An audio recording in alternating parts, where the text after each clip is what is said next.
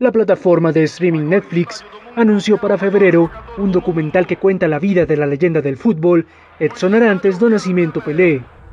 El audiovisual abordará el periodo de 12 años en el que Pelé conquistó tres títulos mundiales y se convirtió en un héroe nacional para Brasil, en una época radical y turbulenta de su historia.